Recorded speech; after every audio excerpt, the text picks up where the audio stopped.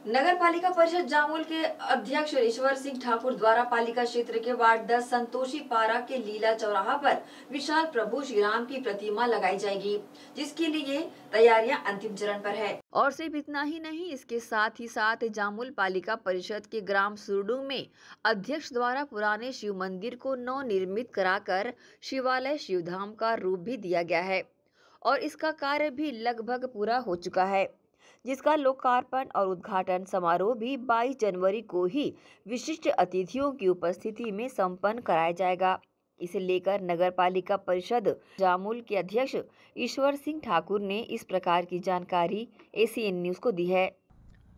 जैसा कि मैं आपको बताना चाहूँगा, पूरे भारतवर्ष में 500 वर्ष बाद एक ऐसी, ऐसा समय आया है जिसमें रामलला जी की स्थापना हो रही है हमारे अयोध्या में। तो हमारा जामुल भी एक भगवामय और अयोध्या के एक छोटे रूप में यहाँ दिखे। उसी के तहत हम लोगों ने नवनिर्मित एक राम जी की मूर्ति की स्थापना, हमारे जामुल का हृदय स्थल संतोषी चौक जामुल में होने वाला है।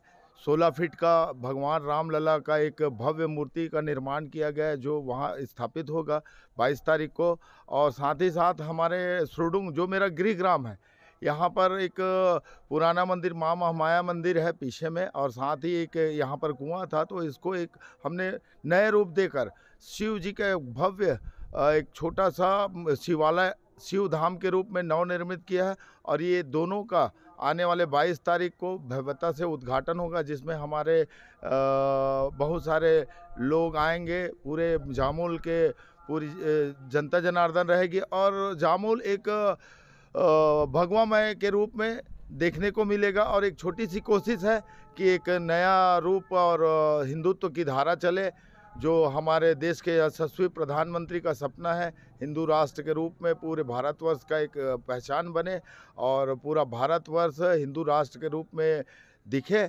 तो हमारी भी एक हमारे आदरणीय मोदी जी के कॉन्सेप्ट में हमारा भी योगदान रहेगा, यही हम करना चाह रहे हैं। रामलला बाईस को जामुल में आएँगे और हम पूरे जामुल वासी दिल से भगवान राम का भक्ति में पूरे जामुल नगर को ओत प्रोत कर देंगे। 22 जनवरी को अयोध्या में श्री रामचंद्र जी की प्राण प्रतिष्ठा का जैसा आनंद होगा, उसी तर्ज पर जामुल पालिका परिषद के अध्यक्ष भी जामुल में आनंद भरे माहौल को बनाने का प्रयास कर रहे हैं।